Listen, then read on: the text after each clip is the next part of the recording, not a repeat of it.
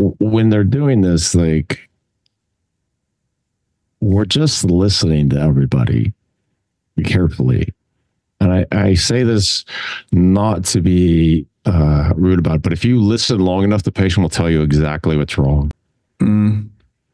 That's right.